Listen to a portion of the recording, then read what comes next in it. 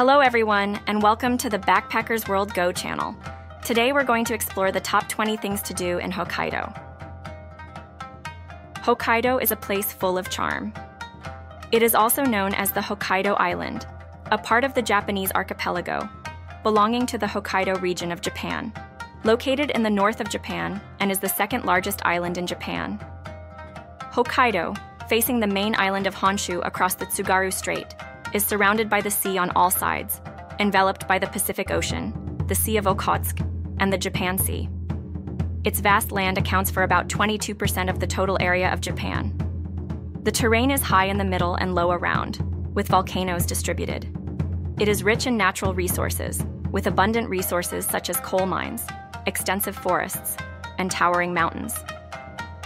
Hokkaido is known worldwide for its cherry blossoms and snowscapes, as well as lavender flower seas. The best time to visit the Hokkaido? In Hokkaido, every season offers its own unique charm. In spring, from late April to early May, the cherry blossoms in Hakodate and Shizunai are a delicate spectacle, while July's lavender fields in Furano and Biei bloom vibrantly. Come summer, the landscape is awash with purple hues, ideal for family vacations with its mild 28 degree weather. The autumn months bring a rustic palette of reds and golds to the region, best seen from mid September, accompanied by a bounty of seafood and harvest.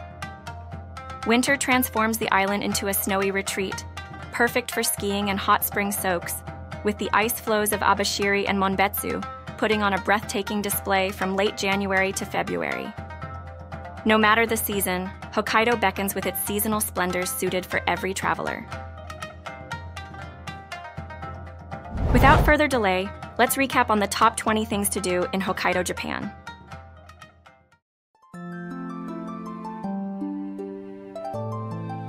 Number 1 Cherry Blossom Season in Asahikawa. Spring in Asahikawa brings forth clouds of blooming cherry blossoms.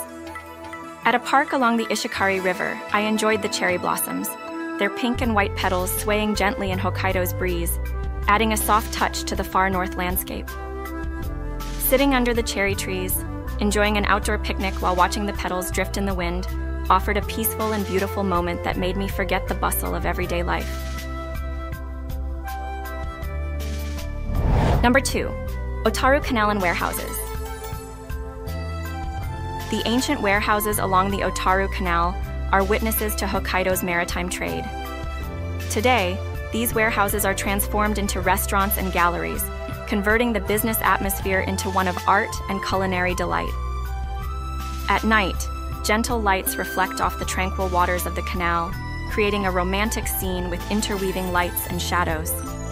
During winter nights, Walking along the canal with friends, the snowy landscape and lighting blend into a picturesque scene that kept me captivated. Number three, food exploration in Hakodate Morning Market. Known for its fresh seafood delicacies, the Hakodate Morning Market offers a plethora of local cuisines that reliably delight the taste buds. From enjoying sea urchins to tasting marinated salmon roe, Every bite encapsulated the essence of Hakodate's marine abundance. This unique culinary exploration elevated not only my sensory experience, but also my understanding of the local culture. Number 4. Ramen Street in Sapporo. Sapporo, the birthplace of miso ramen, is a place that no foodie would want to miss. Ramen Street is the labor of this love for ramen, where the most delectable bowls of steaming hot ramen are served to eager food enthusiasts. Each slurp of the rich miso broth, dancing with noodles and topped with succulent char siu, was an affirmation of the culinary skills and dedication that define Hokkaido's comfort food at its finest. Number 5. Whale watching off the coast of Kushiro. Taking a boat out into the Pacific, off the coast near Kushiro, was a quest for a glimpse of the ocean's gentle giants. The thrill of spotting a whale in its natural habitat is unmatched. The sheer size and grace as it breaches the ocean's surface is an awe inspiring and humbling experience that pays homage to the magnificence of marine life. Number 6 Ainu culture at Nibutani. The indigenous Ainu culture is an integral part of Hokkaido's heritage. Here at Nibutani, I delved into their rich traditions, craftsmanship, and deep respect for nature. Through museum visits and interactions with the Ainu people, I learned about their distinctive wood carving techniques, intricate patterns, and age old folklore that resonate with the spirit of the land.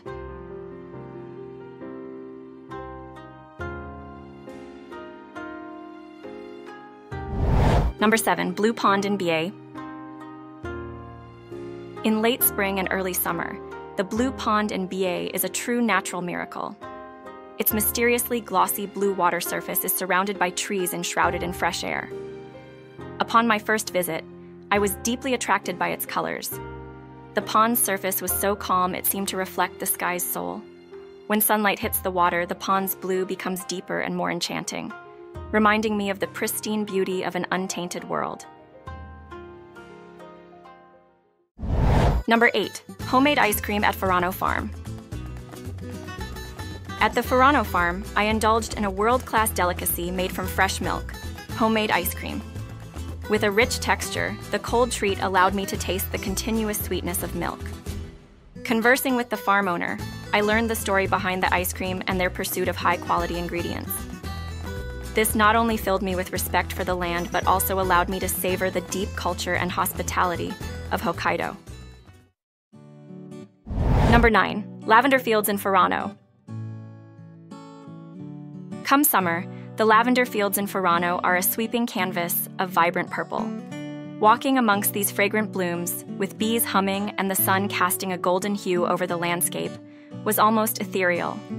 Lavender ice cream in hand, the floral breeze was a reminder of Furano's allure that goes beyond its visual beauty to encompass scents and flavors.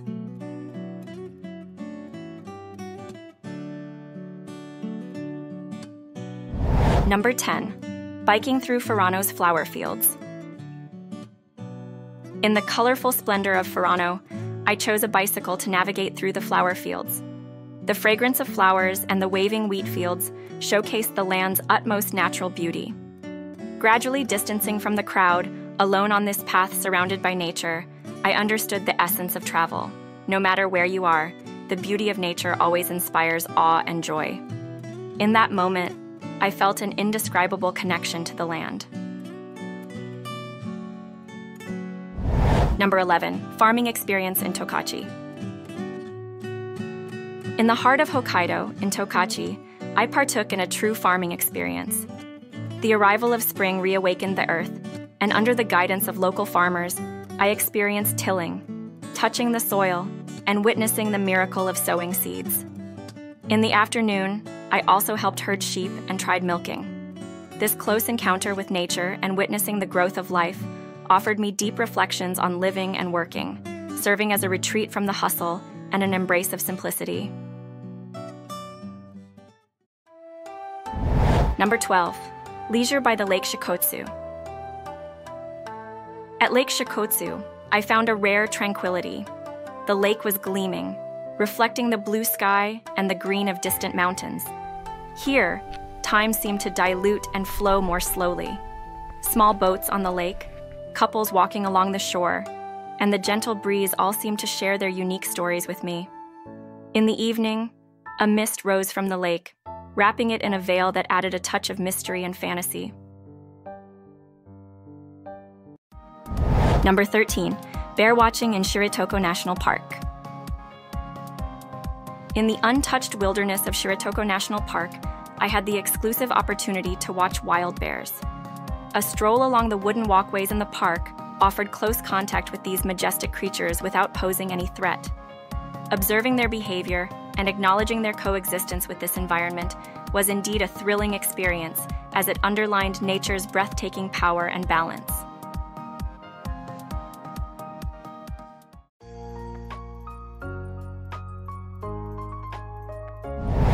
Number 14, Hokkaido Shrine Visit. A visit to the tradition steeped Hokkaido Shrine was a spiritual journey that connected me directly with Japanese culture. Amid the calm and serene ambiance and the delicate architectural beauty of the shrine, I felt a sense of inner peace. The picturesque surroundings and the blessings received from the shrine made this journey worthwhile. Number 15. Historic Village of Hokkaido. Stepping into the historic village of Hokkaido is like walking back in time to the Meiji and Taisho eras. Themed to reflect this period, the open air museum's perfectly preserved buildings and artifacts told stories of a bygone era. As I wandered past old farmhouses, government offices, and sprawling estates, I was transported to a time capsule that signified the growth and development of Hokkaido.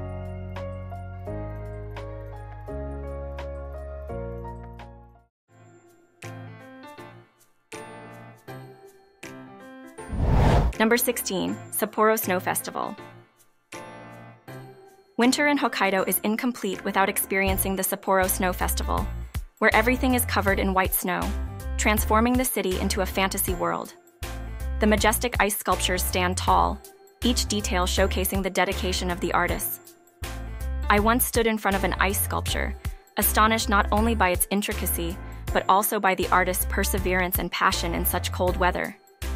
At night, colorful lights illuminate the sculptures, turning the area into a dazzling fairy tale world that is unforgettable. Number 17. Noboribetsu Hell Valley Hot Spring Experience. In Noboribetsu Hell Valley, I experienced the most primitive hot spring journey. Unlike the luxurious hot spring facilities in cities, every steaming hot spring pool here is a masterpiece of nature. Here, the vitality of the earth seems to surge from its core, and every dip in the hot springs feels like a purification of both body and soul. Even in the harshest winter, the warm waters make one forget the cold, leaving only a dialogue with nature. Number 18, Hakodate Mountain Night View. Atop Hakodate Mountain, I witnessed one of the world's three most beautiful nightscapes. Amid the mountaintop breeze, the city's lights spread like stars laid down to earth, each one representing a warm residence. The lights of the city mingled with the starry sky, and the coastline stretched into the darkness of the sea horizon like dazzling chains, with the lights of fishing boats resembling fireflies on the water, echoing with the stars above. The contemplative silence amidst the lively scene was profound, as if designed to afford one the space for thought and imagination. Number 19, Abashiri Drift Ice Sightseeing. One of the unique phenomena that Hokkaido offers is the drift ice sightseeing in Abashiri during winter. A special icebreaker ship maneuvered its way through the dense layer of sea ice. The sight of the snow covered icy spectacle stretching out endlessly was a sight to behold. It's a stark reminder of the magic of nature and the cycle of seasons.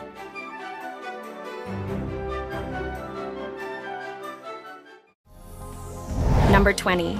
Skiing in Niseko. Known as one of the world's best powder havens, skiing in Niseko was an exhilarating experience. The smooth, snow covered slopes, coupled with the breathtakingly picturesque landscape, offered an unforgettable adventure. Whether you're a seasoned skier or a beginner riding on the gentler slopes, the joy and rush of sliding down the powder snow is a thrill that feels like no other. Today's video, Top 20 Things to Do in Hokkaido, Japan have been introduced. Before I end, I'm introducing two superb hotels to you. Mitsui Garden Hotel Sapporo West is ideally located, just a five minute walk from JR Sapporo Station. Modern amenities, a rich breakfast, on site hot springs, and friendly service make it perfect for visiting Sapporo's attractions like Ramen Street, Hokkaido Shrine, Otaru Canal, and Asahikawa. La'gent Stay Hakodate Ekimae Hotel boasts a prime location, modern amenities, and friendly service. Within walking distance to the morning market and ropeway station, it offers easy access to sites like Noboribetsu, Hell Valley, and Furano. Convenient transportation makes it an ideal base for exploring Hakodate and its surroundings. All the above hotels are described. Thanks for watching and don't forget to give me a like, subscribe, and share. Looking forward to the next adventure.